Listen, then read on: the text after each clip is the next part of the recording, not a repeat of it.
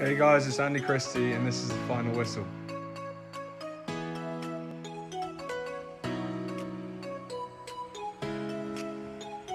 Welcome to the latest episode of Rugby Connection presents The Final Whistle. This week's guest, you've probably seen his parents' reactions getting into the national team all over social media. He's been tearing up at Saracens in the Prem this year. It's Andy Christie. Andy, thank you so much for coming on the show. How are we getting on? Yeah, I'm, I'm doing well, thank you. I'm doing well. Um, just got back from, from Edinburgh last night, so a little bit tired first first few days in camp, but um, no, things are going well, thank you. How how is how are you finding your first week in Scotland camp?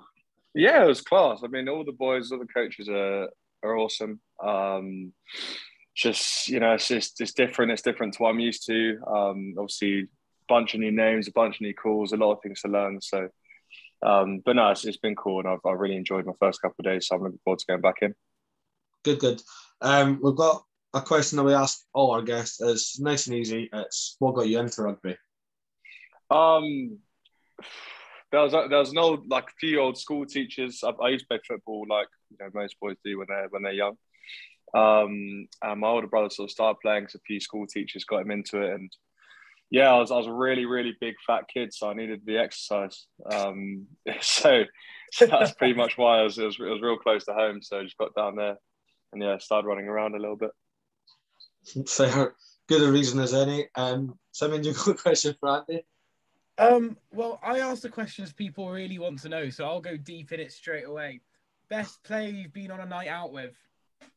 Best player on a night out? Aye. Is that like the best at rugby on a night out or the best on a night out?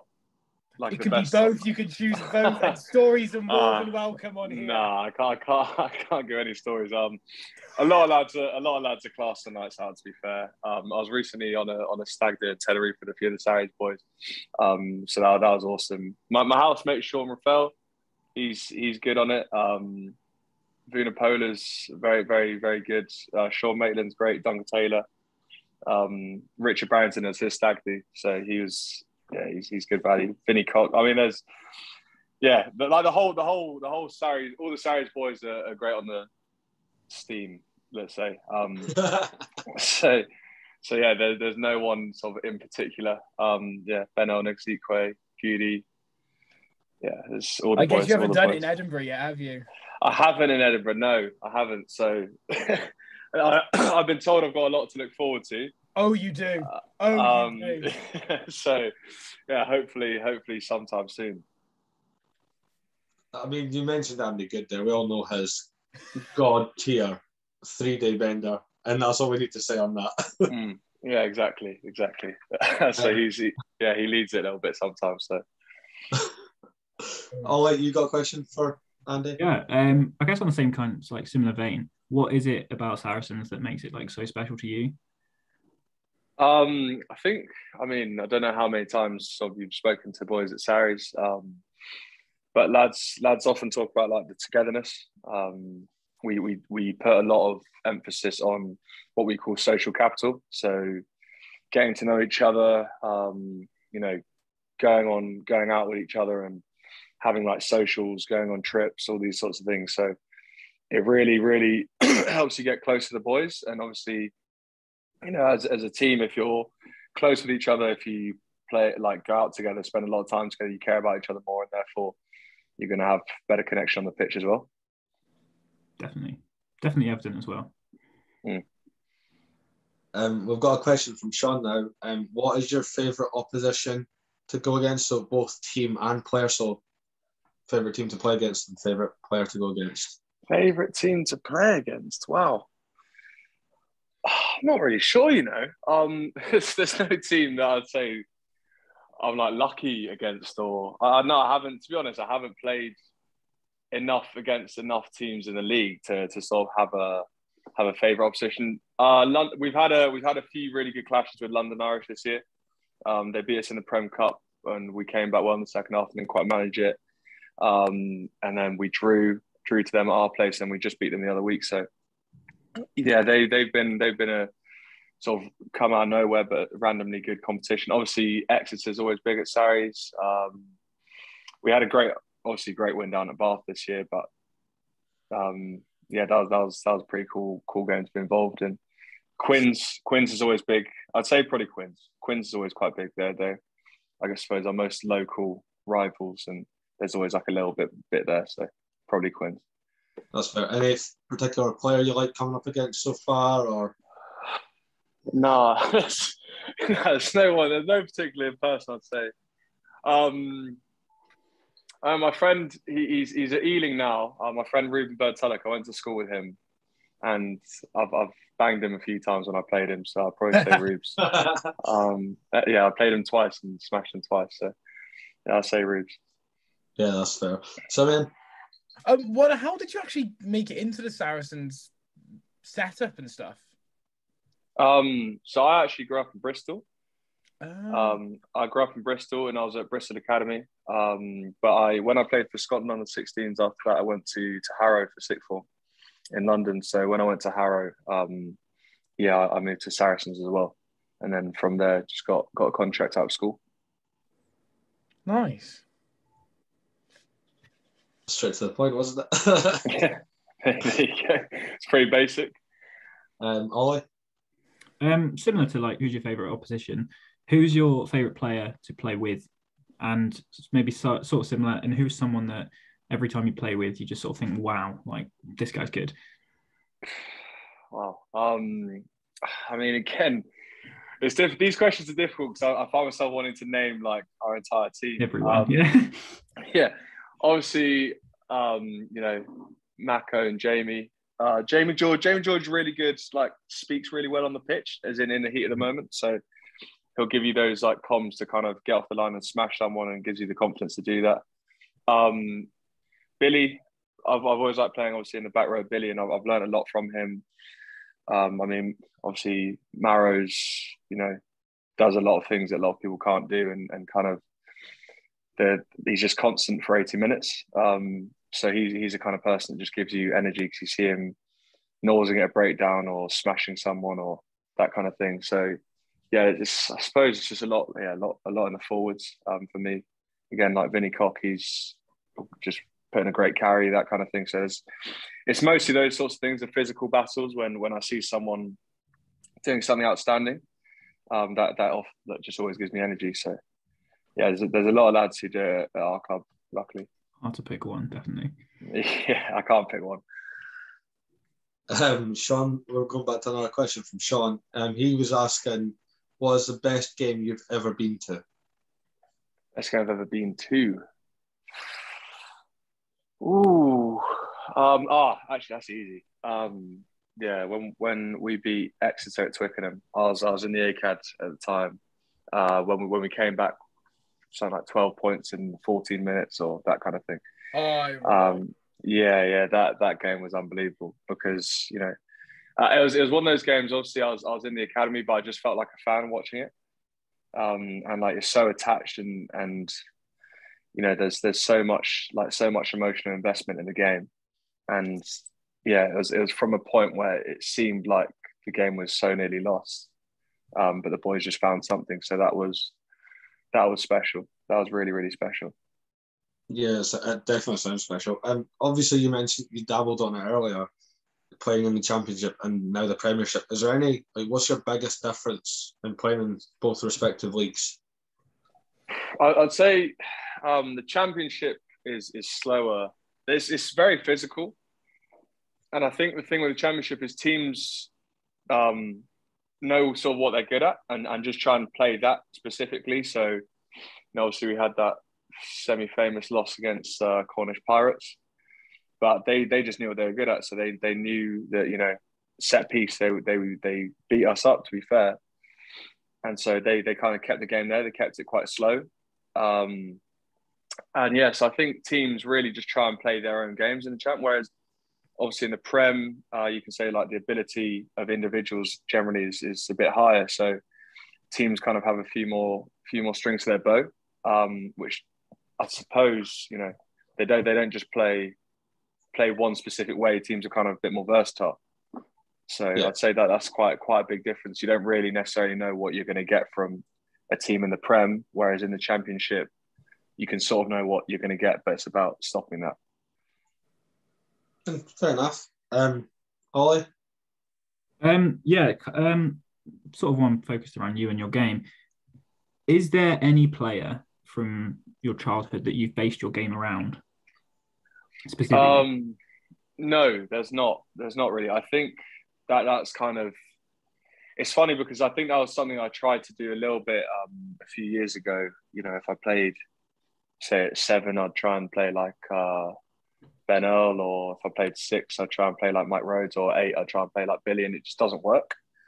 You know, it, it, it doesn't work. You can't you can't try and be loads of different people. Um, obviously, it's it's great to to have examples of people, and, and I, I looked up to you know a lot of players growing up. Um, like you know um, Toby Faletau, I think it's class. Um, always thought Billy was was great when I was younger. Steffon Armitage for a few years. Um, but you know, I, I now I now kind of realize it's, it's about understanding what you're good at. Um, you, you just got to find what you're good at and, and, your strengths and kind of play to them as much as possible. And and for me, I've, I've played six, seven, and eight, so it's about bringing those strengths regardless of which numbers on my back. I was going to ask that as well. Do you do you have a preference on which you play, or are you happy just to slot in anywhere? Yeah, yeah I'm happy to slot in anywhere. I think six is probably um, it, it was the position I play the most. It's probably my, my most natural position. Um, so yeah, I'd, I'd, I'd go with six. I, I like playing eight because you get more your hand on the ball more. Um, but yeah, I think six I'm most naturally suited to. So man, Sounds good. Um, more on the social aspect of things again. Have you been able to do much of that in the your first Scotland squad? Obviously, I know COVID's a bit different. You've got to stay in a lot of the time. But has there been much of a social aspect or team building, morale building stuff in the Scotland? Oh, oh not so far. I mean, I've only been in uh, for what three days. so, yeah, so I was only in I was only in camp for three days. Uh, so not so far, but the boys the boys are all class and, and they do you know, we've done we've done a few little things to try and try and get a bit of that together. We played some sort of like kick tennis and a few games the other night. Um, and yeah, lads lads are all class anyway. So it's quite it's quite an easy group to to get in, involved in. Guys are all sort of nice and welcoming. So yeah, it was it was a bit more of a I suppose daunting might be the wrong word, but daunting prospects going in. Just I didn't really know anyone.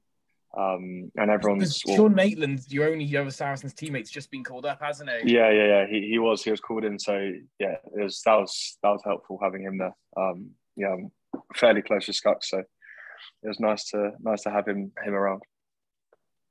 Happy days.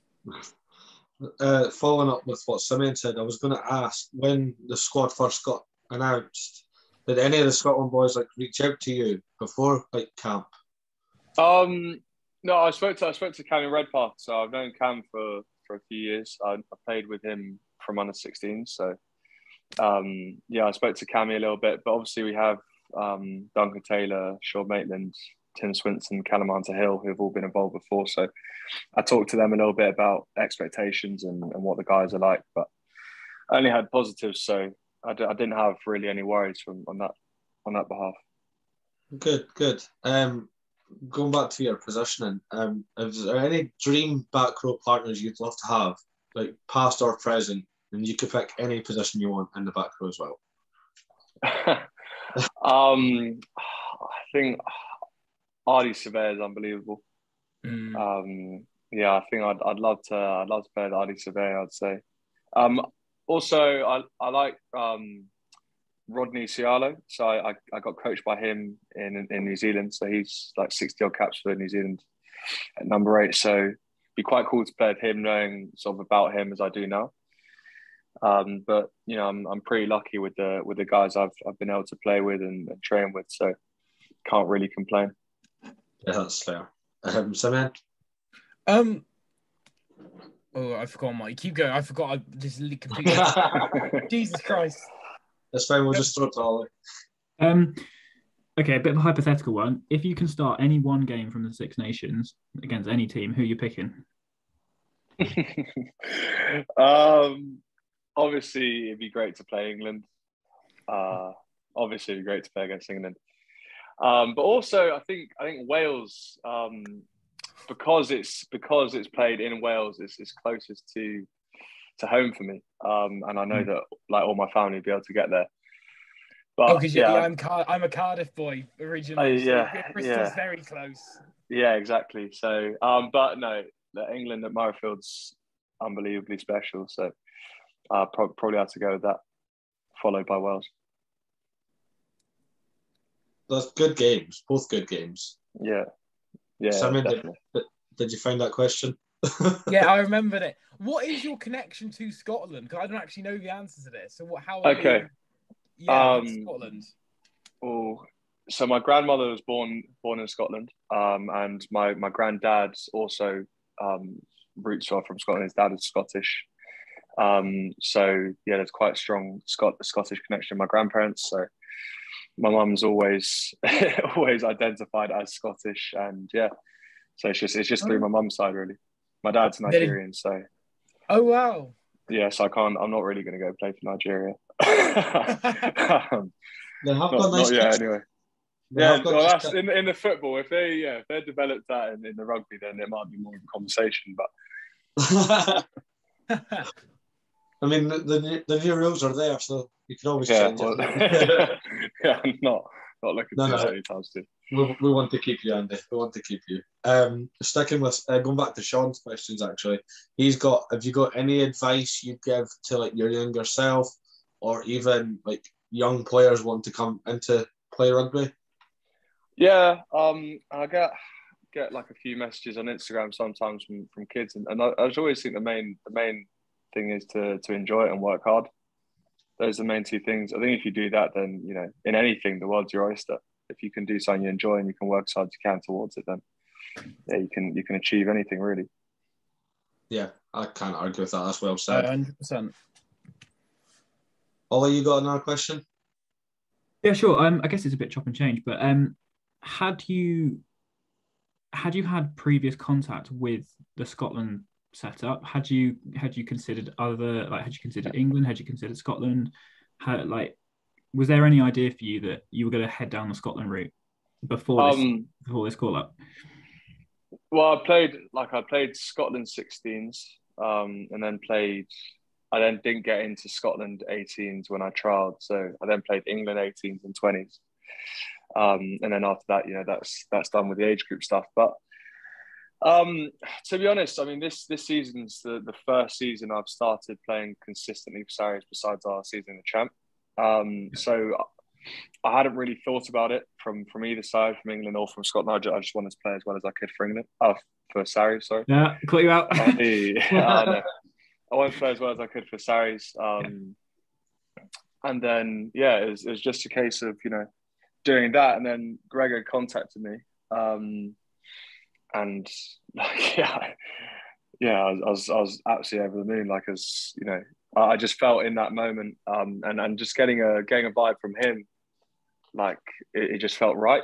Um, like I felt it feels you know it felt like I'd be so so well suited to Scotland and so well suited to what he's got going on. It's such an exciting group, um, yeah, and and there's so many you know good good young guys, and I just, I just want to be involved in that, and you know to be able to learn from from the great coaches they've got there, and yeah, I, I felt like it, it suited me so well um, that I couldn't imagine doing anything else really. Yeah, you definitely made the right choice. Oh, not, wow. bi- not, not biased at all, but Yeah. you definitely made the right choice on that. Um, we've got a few fan questions. So, Finn Walford too has asked, "How excited were you to be battling out with the likes of Jamie Ritchie and Rory Darge?" Yeah, no, absolutely. Um, you know, super excited just to get into camp. I mean, I'm not looking at, you know, at this point, certainly is like battling it out. I'm just trying to get in there and, and learn things and, you know, get a feel of, of a new system and, and all that kind of thing. So basically, it's just exciting to meet these guys who are, you know, obviously tearing up for, for their clubs. And it's all, you know, they're, they're more unfamiliar to me than because I don't play them every week. And Yeah. so it's, it's, it's cool to see sort of different guys and, and how they how they operate. That's fair. Um, has it has it actually sunk in yet? Because obviously, when when you put the videos out of your parents, especially your mum who nearly fell and like walking the dog, Yeah. that was brilliant. Has it has it actually sunk in yet that you're in an international setup?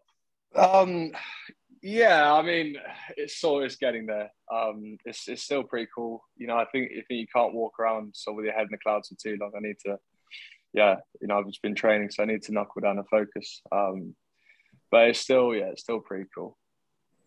Yeah, I just because when when the squad got announced and your name came up, you were you blew up my my social media. It was just Chrissy's in the Scotland team. Like Darcy put like well done Andy. It was all over Yeah, Instagram. And, and then of course your your parents stealing the show, which was just yeah. amazing on both ends. yeah, no, I'm obviously no, I'm still still absolutely over the moon to be involved. Um, but like I say, um, you know, can't can't let it sort of affect you, and like I can't be in camp kind of just just starstruck. You know, I've just got I've got to be there and be myself and and kind of try and show what I can do. When Yeah. are you back up in camp next? Uh, Sunday after after the game, sorry.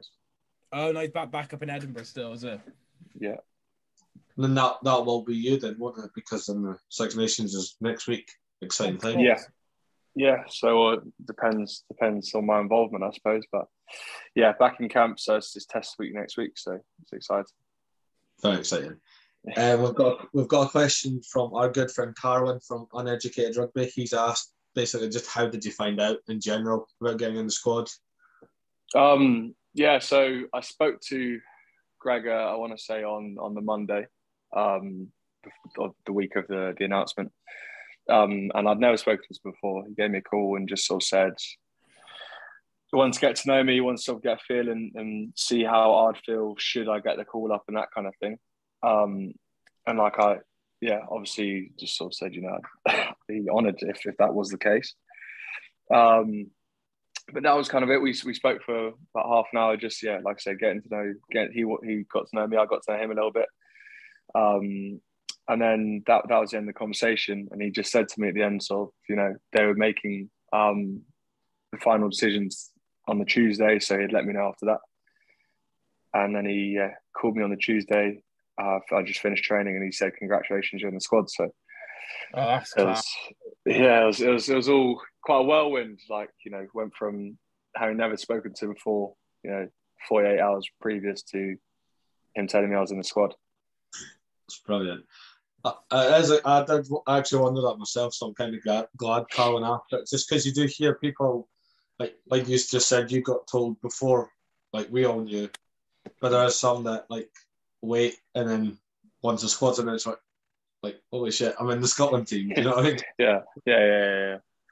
But no, it was good. It was good to good to get a heads up, I suppose. Yeah, definitely. Um, Simeon, I'm I've exhausted my questions. you've exhausted your questions. That's fine. Ollie, you got any more?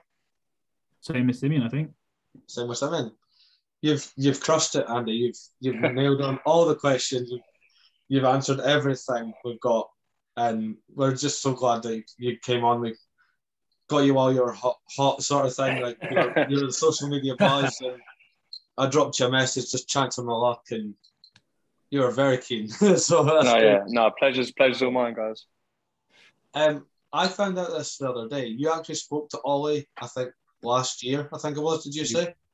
Yeah, I mean, whether or not you remember is doesn't really matter. Um, in the Saracens supporters forum, in Yeah. part of the um, uh, just just as the Black Lives Matter um campaign started, and the the club put a video out which you took part in. So I wasn't sure if you'd recognise me from that. I didn't expect you would, but I met you asked me to come on here. Um, but yeah, that. Oh, sick. Yeah, that was uh, that was quite an important time, obviously. Um, but no, that's really cool. Definitely. There you go. We're always finding connections here at Rugby Connection. That's kind of yeah, it always it Oh, works. Murray! It, wor- it works so accidentally, and Oh, it- it's, Murray. it's always aligned. It's fine. Doesn't matter.